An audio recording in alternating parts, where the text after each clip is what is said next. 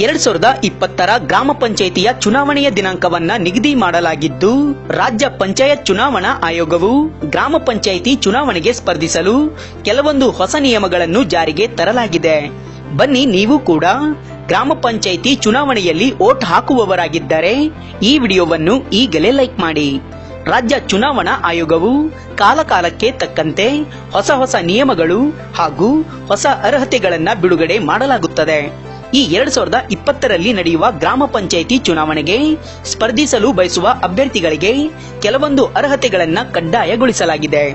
ಗ್ರಾಮ ಪಂಚಾಯಿತಿ ಚುನಾವಣೆಯು ಏಪ್ರಿಲ್ ಐದರಿಂದ ಏಪ್ರಿಲ್ ಒಂಬತ್ತರವರೆಗೆ ಚುನಾವಣೆ ದಿನಾಂಕವನ್ನ ನಿಗದಿ ಮಾಡಿದ್ದು, ಮೊದಲನೆಯ ಹಂತದಲ್ಲಿ ಬೆಂಗಳೂರು ನಗರ, ಬೆಂಗಳೂರು ಗ್ರಾಮಾಂತರ, ಕೋಲಾರ, ಚಿಕ್ಕಬಳ್ಳಾಪುರ, ತುಮಕೂರು, ಹಾಸನ, ಮೈಸೂರು, ಮಂಡ್ಯ, ಮಡಿಕೇರಿ, ಚಿಕ್ಕಮಗಳೂರು, ಶಿವಮೊಗ್ಗದಲ್ಲಿ ನಡೆಯಲಿದೆ. ಇನ್ನು ಎರಡನೇ ಹಂತದ ಚುನಾವಣೆಯು ಉತ್ತರ ಕರ್ನಾಟಕ ಮತ್ತು ಕರಾವಳಿ ಕರ್ನಾಟಕದಲ್ಲಿ ನಡೆಯುತ್ತದೆ. ಈ ಬಾರಿಯೂ ಕೂಡ ಚುನಾವಣೆಯಲ್ಲಿ ಇವಿಎಂ ಮತಯಂತ್ರವನ್ನ ಬಳಸಲಾಗುತ್ತದೆ. ಚುನಾವಣೆಯ ಮತದಾನವು ಬೆಳಿಗ್ಗೆ ಆರು ಗಂಟೆಯಿಂದ ಸಾಯಂಕಾಲ ಆರು ಗಂಟೆಯವರೆಗೆ ನಡೆಯುತ್ತದೆ.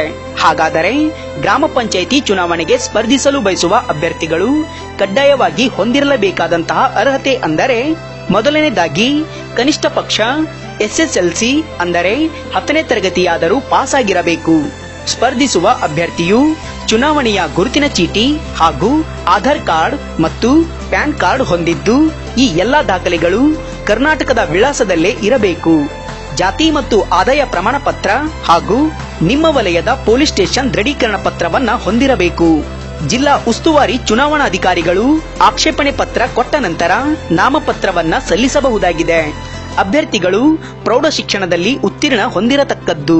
ಅಂದರೆ ಕನಿಷ್ಠ ಹತ್ತನೇ ತರಗತಿ, ಅಂದರೆ ಎಸ್ಎಸ್ಎಲ್ಸಿ ಪಾಸ್ ಆಗಿರಬೇಕು ನಾಮಪತ್ರ ಸಲ್ಲಿಸಲು ಬಯಸುವ ಅಭ್ಯರ್ಥಿಯ ತಂದೆ ಅಥವಾ ತಾಯಿ ಅಥವಾ ಪೋಷಕರು ಯಾವುದೇ ಸರ್ಕಾರಿ ಅಥವಾ ಅರೆ ಸರ್ಕಾರಿ ಉದ್ಯೋಗದಲ್ಲಿ ಇರಬಾರದು.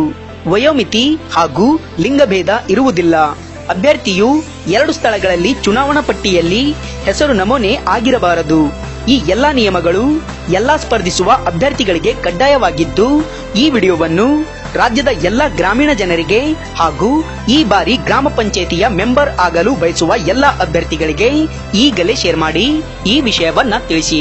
ಹಾಗಾಗಿ ಈ ವಿಡಿಯೋ, ಈ ಮಾಹಿತಿ ನಿಮ್ಗೆ ಇಷ್ಟ ಆಗಿದ್ರೆ ಲೈಕ್ ಮಾಡಿ, ಶೇರ್ ಮಾಡಿ, ಕಮೆಂಟ್ ಮಾಡಿ, ಸಬ್ಸ್ಕ್ರೈಬ್ ಆಗೋದನ್ನ ಮಾತ್ರ ಮರಿಬೇಡಿ.